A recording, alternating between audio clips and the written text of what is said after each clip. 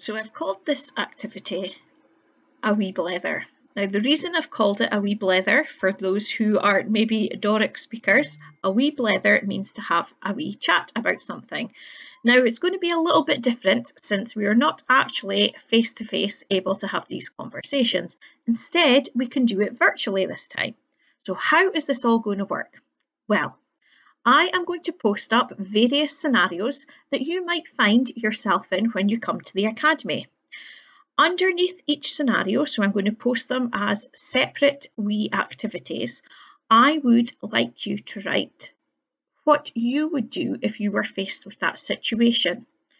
Now, it might be that you want to have a wee think about each scenario before you write something down or type something in the comments, and that's absolutely fine you could maybe go away, have a wee think about what you would do, and then come back to it and then write a comment.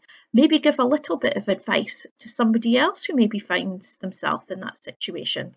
Have a look below and you'll see what I mean. Maybe we'll do the first one together so you can see what I'm talking about.